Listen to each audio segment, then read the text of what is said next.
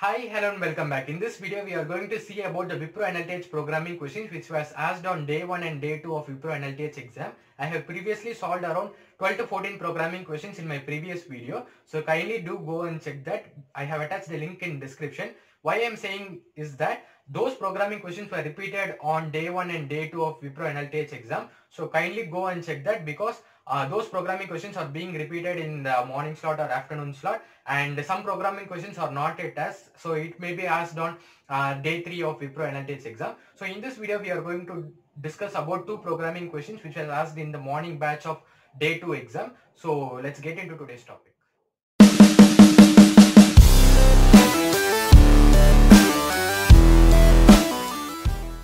See the first program. I don't have the exact question but I will explain you what they asked. So they have asked write an algorithm to help the community find the count of unique authors initial present in the given batch of books. So they have given the paragraph like that an online book reading community something some authors will be there you have to find the unique number of uh, authors initials in that. So they will be given this string you have to find the unique number of authors in this. For example A is repeated thrice. But yes you see it is repeated only once. So that is an unique character in this string. So you have to count that number of unique characters in the given string and print the count as the output. So they have given like this and uh, this is the example they have given. So they have given the string like this. So a s f d d a g h a. So in this how many unique characters are there? So first uh, s is an unique character. S if an, uh, f is an unique character G and H. So these four characters are unique characters. So if you count these unique characters, four you will get. That is the output of this program. How we are going to do this approach means, first take this first character A. Compare with next character S. It is equal? No, it is not equal. F, it is equal? Not equal. D and uh, you are going to go on checking uh, with this other characters like this. So D not equal, D not equal. A it is equal. So if A equal to A means we are uh, first initially we will declare one count variable as c is equal to 0 if a equal to equal to a means we will be changing the value of c to 1 and we will be breaking this condition so that it not gets incremented to the unique characters. Next we will go to the s character. So s will be checked with all the other characters. So if s is uh, checked with a means it is not equal. S is not going we should not check the same character with that same character itself. That is the same position. So this is zeroth position, this is first position. First position should not be checked with first position. For that what we are going to give, give is that if index of i equal to equal to j means we will continue this. So this and all in program I will explain it clearly so that you will get understand. Now just uh, understand the logic alone. So s will be checked with all the other characters. c will be not changed to 1 because no other character is equal to s. So c will be as it is. So we are going to give another condition that if c equal to equal to 0 means we will be incrementing this unique number of characters in another variable called answer. We will be declaring answer is equal to 0.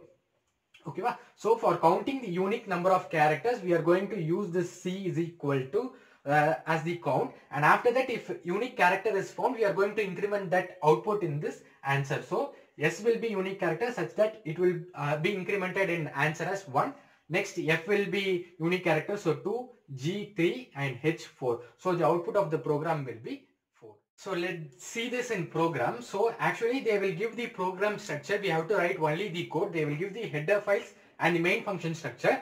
Inside the main function we are going to write the code. So in this program we are going to use strlen function. This is defined in string.h header file they won't declare this string.h declare file header file in the declaration. So we have to include this in our program. So don't forget to include this otherwise you will get an error. So what we are going to do is that we need an input as a string. So to get an input as a string we are going to declare an array of characters. So i have named the array of characters as yes. So in that value i have given as 10000 and for uh, additional variables so i am going to declare this variable so int c is equal to 0 for counting the unique number of terms and i and j as the loop variable and answer is equal to 0 for printing the last value uh, for counting how many unique characters are there so I am getting the input as a string. So scanf of percentages comma s to get the input as a string. And after that I am going to traverse it using two for loops so that I can count the uh, number of characters in it with its unique number of terms. So how we are going to do is that for i is equal to 0, i is less than str of s, i plus plus. So I am going to start with 0 and till the end of the string I am going to traverse it and another for loop inside that for loop for j is equal to 0, j is less than str of s, j plus plus. So I am going to include another for loop so that I can compare this a with all these terms so that I am going to include these two for loops. So in that condition I have given two if condition. So if i equal to equal to j. So here i also 0, j also 0. If i equal to equal to 0 means I am going to continue this because if any single unique character is there means for, for, for example if s is the uh, unique character here so if s is compared with s means it will be incremented as count as 1 so I am not going to do that so I am continuing with this so continue will again increment the j loop so that it uh, it goes to the next character so j will be compared to that is 0 will be compared to 0 a will be uh, 0 will be compared to 0 it will be continued. So j plus plus. Again j will be incremented to 1 so i value is 0 j value is 1 it is not equal so that it comes to this. So here it uh, checks another condition. If s of i that is s of 0 is a a is equal to equal to s no condition gets failed so it won't go to this if condition. Again j gets incremented so likewise it will be incremented and checks with each and every character.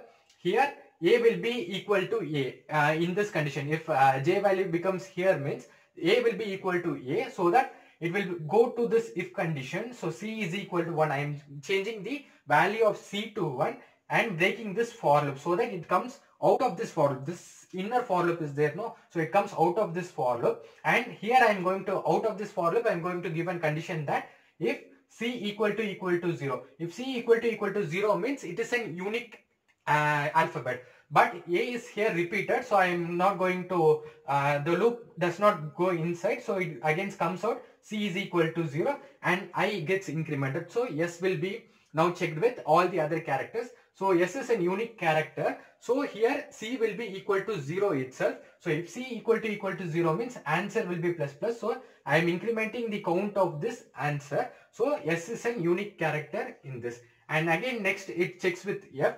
So F is uh, also a unique character in this. So F will be incremented and answer value will be 2 here. And after that it will be again going. So D is repeated so it won't uh, get incremented. And G is a, a unique character. So G will be incremented and now answer will be 3 and H is another unique character so it will be incremented as 4. So A we have already checked so it also checks and uh, it won't get incremented. So the answer count incremented will be 4 that is the output of the program. Why we are going to give this C equal to 0 means uh, we are going to check the condition and again and again so that how many variables are there in that how many we are going to count how many variables are there so that uh, after checking a single alphabet we are going to again make it to 0 so that it will be uh, incremented and uh, calculated according to the next alphabet. So this is the program and uh, your output will be successful. So the name of the second program is the lottery ticket, lucky lottery. So we have to find the shortlisted ticket based on the algorithm what they have given. So we are going to write that algorithm. So they have given that write an algorithm to select the shortlisted ticket code. They have given certain condition to select the shortlisted ticket code. The input what they have given is the number of tickets available. So the number of tickets they have given it as a uh, single row. We have to consider this as an array. What they have given the algorithm is that we have to count the number of tickets available in this. For example, ticket 1 is available occurring one times. Ticket 2 is occurring thrice. Ticket 3 is occurring thrice. Ticket 4 is occurring once. So based on what condition they are going to shortlist the ticket means if the ticket number is equal to number of times it occurred in this array means that will be your output. For example, here 1 is repeated one time 3 is repeated 3 times. So these two are the possible conditions to shortlist the selected ticket. So in that these two conditions are same no. So what they have given the condition is that if we have to print the greater number ticket. So 1 is not 1 is not equal to 1 is not greater than 3 okay so what which is greater? 3 is greater. So 3 is printed as the output. So this is the first example what they have given. So i will explain the second example so that you will understand it better. So they have given n value as 10. So 10 numbers they have given. So in this ticket number so ticket 2 is occurring once and ticket 4 is occurring 4 times and ticket 3 is occurring 3 times, 5 one time and 7 one time. So in this if you see means 4 is equal to 4 so this one satisfies and 3 is equal to 3 so this condition also satisfies. What we are going to say select the uh, shortlisted ticket based on what? So it should be the ticket number should be greater than the other tickets. So in this greater ticket number is 4 so 4 is printed as the output. The same applies here. So 3 is greater than the ticket number 3 so 3 is printed as the output. So let's see this in program so how we are going to write this program means, so for getting the input, so we will consider to get the input 8 as n and this is an array of integers. For that we are going to declare an n and array of integers. So int n a of 1000 I have given and for other variables, so for counting the number of integers present, so I am going to declare c is equal to 0 and for assigning the maximum uh, maximum ticket value, so I am going to declare max is equal to 0. So I am getting the input, so scanf percentage d pressing n. So 8 will be stored in n. And for getting the input as an array so I am going to do a for loop and get the input of integers as an array. And after that what I am going to do is that I am going to count the number of variable number of integers present in that. So I am for that I am going to use the two for loop. For int i is equal to 0 i is less than n i plus plus. For int j is equal to 0 j is less than n j plus plus so two for loop I am going to use. For what we are going to use two for loop is that. So first we are going to take this number 1. Okay, so for i is equal to 0 means 1 will be considered. For j is equal to 0, so j will be traversed uh, until this condition is met. So if 1 equal to equal to 1 means c will be incremented. So c value will become 1 now. Okay, so after that j will be incremented. So j will be uh, shifted to 1 first position. So j equal to 1 1 is less than 8 is condition satisfies. So 1 equal to equal to 2. No condition does not satisfy. Again j incremented. It does not go into this if condition itself. Next uh, it checks with next to 2. It will not be satisfied. Next to 2 it will not be satisfied. Next it checks with 3 and 4. The condition will not be satisfied. So c value will be equal to 1. So after that this for loop gets ended. So this j for loop gets ended and after that this condition will be checked. In this condition what we have given is that if a of i equal to equal to c. What is a of i? a of i is 0th position. So 0th position is 1.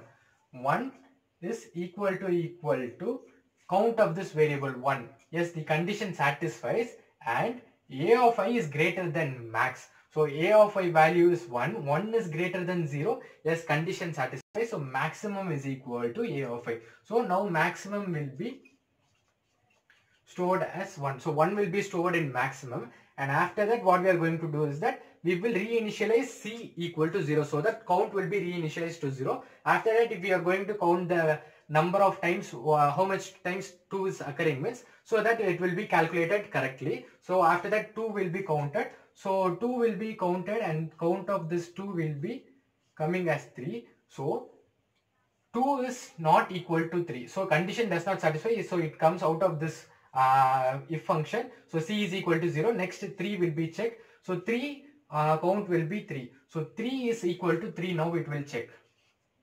So 3 is equal to 3 condition gets satisfied and after that what we are given and and 3 is greater than what will be stored in max 1. So 3 is greater than 1. Yes this condition also satisfied. What we are going to do is that store 3 in max. So now max value will be changed to, to 3 what I have given, uh, what they have given in the condition, the ticket number should be the maximum if all the numbers becomes equal. So what we are going to do this, uh, we are going to give this condition. A of i is greater than max means we are going to change the max value. So that ticket number 1 will be changed to ticket number 3 so that all for all the conditions the uh, program will be satisfied. So after that what we are going to do is that so we are going to declare uh, if else function. So if max is not equal to 0. Why I am giving this condition means uh, they have given in the question as if none of the condition satisfies. So none of the condition satisfies with this. For example, I will give an array.